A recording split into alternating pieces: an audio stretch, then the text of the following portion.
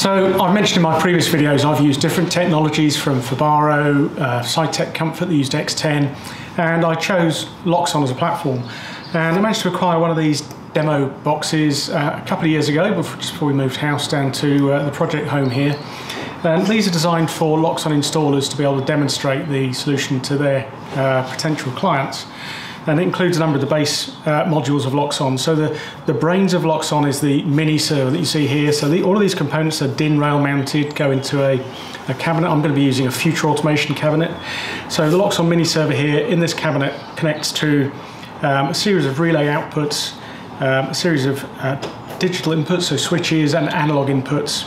And then there are a few outputs in this tray normally, so there's an RGB strip, um, other inputs. I've taken a PIR sensor off here that I've used elsewhere currently. So my system is going to be a combination of um, mains, switched and dimmed lighting, uh, RGBW lighting, um, and full house audio. So I'll, I'll put a diagram of what my uh, current draft panel design that um, Hugh at uh, Thames Valley Automation has put together for me. We're still fine tuning that at the moment. But that will have the basic Loxone mini server. So this is the brains of the system. This connects via Ethernet and is managed locally. It doesn't need cloud control.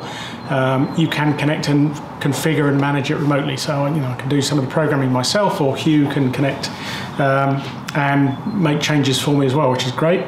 Um, it has uh, eight digital inputs, um, four analog inputs and eight relays. It also has connection to Tree. So Tree is the cabling protocol system that is used by Loxone.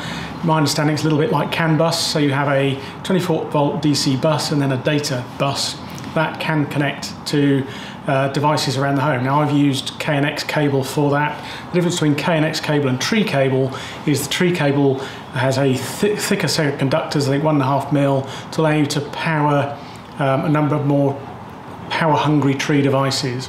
Uh, the first one of those that would use more energy is the RGBW spot. Um, so as you can see there are four wires on here, so two of those take uh, power, two of those take data, and this has a white LED in the middle and RGB LEDs around the outside. Um, and you can wire that, it's a free topology, so you can do it in, in a loop, in a radial, you can take a radial off a loop, as long as the data can communicate and the power gets to the device. All of these are individually addressable, so these have an address effectively on a network if you like. So I could have 20 of these in the ceiling and get them all to do different colors, different intensities, um, to create the scenes that I want for my environment. Now, they're a fantastic light. I've decided not to go with these. Um, they're relatively expensive, I think about £80 or so each. And I found because of the the shape of them to get the uh, white light in the middle, the beam angle was a little bit too narrow, um, and I wasn't going to get the lighting effects that I wanted. So I've decided to use a combination of RGBW uh, strip or tape um, and dimmable lighting. I did look at some options. Hugh had some really interesting um, white lights that had two colors, so warm white and a cool light, so you could actually use the controllers to create a, a, um, a warmth of white that you want at that point in time, and they can actually change it during the day, which is uh, interesting. I've decided not to go that route for now. Um, so we start off with the Loxone mini server. We have a, a communications network that then connects to add-on modules. So this has some um, a tree interface in it standard. We have an additional tree interface. I think you can have 50 devices or something on each tree. Um, I've got two rings of tree that I've configured in the house for a level of redundancy. Um, you can communicate wirelessly. So one of the other units that I've got here is an air base. Um, so I can have devices like an RGB dimmer. Um, I forgot to put a cable through to my kitchen island and we want RGBW strips around the island. So thankfully I can use a wireless connection and install another RGBW controller um, in the island. Um, other things that I'm going to be installing, um, I'm going to be doing a whole house audio with Loxone. Um, so this is the Loxone audio server. This can work with things like Spotify. You can send music to it with Apple AirPlay. Um, you can connect your local library via USB, uh, with SPDIF. And the basic module here has uh, four outputs, I can do two stereo zones out of that initial box. Um, I can then expand that with um, additional uh, stereo expansion units. So that gives us either another two rooms in mono or another stereo room. Uh, so I'm planning to have three rooms in stereo um, and I think three, uh, maybe four rooms with mono uh, speakers in them. Um, and I was looking at Sonos, which I've had previously. Uh, this is a little bit cheaper than, than Sonos. Um, I think you're looking at about 100, uh, 100 uh, 300 pounds with VAT for a stereo room, which is about half the price of a Sonos amplifier. Um, I, don't expect it to be the same audio quality as a Sonos system, but it does have the advantage of being integrated into Loxone so it can do announcements, it can operate as the doorbell, it can be internal sounders for the alarm system. And for my uh, high quality audio, I'm going to have a Meridian uh, digital uh, speaker set in the in the lounge. So I wasn't you know too worried about the audio quality. It's really for general listening in bedrooms and things like that and listening to the radio. Um, light switch wise around the house, I think I mentioned previously, we're using these um, Loxone uh, pure touch light switches. So these have a glass panel on them, um, very slim design, and they have five touch points that we can use to control. So they're just touching the switch, or even just if you don't understand what it is, just putting you know all your hand across it will switch through a series of scenes. So turning lights on or moving between in the kitchen scene where we're cooking to dining to uh, watching TV just by tapping that one, two, three times, for example. Um, you can also control the shading, so we're going to be fitting electric blinds to all of the windows so we can open and close the blinds. And we can also um, use this for audio control to adjust volume, to skip tracks, those sorts of things. Uh, nice switch, swish sort of design, and it's got a little um, warm white LED in the bottom which washes down the walls. You can see the light switch, quite nice night light feature as well.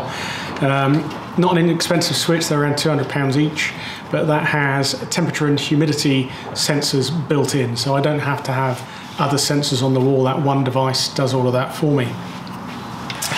And I, I need to interface to uh, a number of other things on uh, the system here, and one of those in particular is the um, air source heat pump system.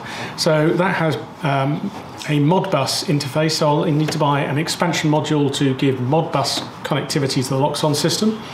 And then I'll use this DCOM unit here from uh, Daikin, where Modbus will connect into this with RS485, and then I'll connect into the Daikin controller. And that will allow us to see all of the information from the air source heat pump and the hot water tank, uh, looking at all of the temperatures, pressures, um, creating the weather compensation curve, uh, I believe within Loxone to push out to that. Um, having the ability to boost um, the water temperature based on scenes and activity within the home. So uh, really, really interested to see how uh, all of that pans out. Um, I've also ordered another device from One Home, um, which will allow me to connect the Loxone system into Matter as a two-way communication so that I can connect with other systems, so Alexa, for example, and any other technology that there isn't a current direct interface into Loxone. Um, one of the other things I don't have here is the technology we're planning to use for the blinds is um, a combination of Velux um, roof lights, where we've got four in this open plan room and another one in the hall, and those are both electrically openable and would have electric shades. And we'll have Somfy RTS, which is a wireless protocol connected motors. So I have another gateway which is called a Somfy Tahoma, and that has an open API, so we'll be able to create virtual devices and have scenes within the Loxone system which can control the blinds, the windows, and everything else. So if you can imagine, uh, you walk into the kitchen, there'll be um, presence sensors built into each room. So based on the time of day, so it's the morning, you can have a predetermined set scene which will set a level of brightness, um, open the blinds, um, tune into uh, favourite radio station or turn on the TV, um, all of those sorts of functions, and you can skip through those with the um, the touch switch controls on the wall. So you know, pretty comprehensive. There's an awful lot of things that we can um, connect to and set up. And I'll be going through this in more detail as we finalise the design. Um, all of that panels, I think I said in my other video, is going to be built off-site. Um, I'll put a photograph of this up with the, the current design so you can see a lot of these modules that are in there.